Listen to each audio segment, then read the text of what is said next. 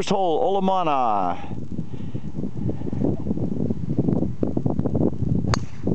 All right, it's a nice line drive down the middle. It's a little, uh, it's okay, 200 yards. 200 yards, only in a Republican inflationary economy. Okay, 150. We'll we'll split the difference.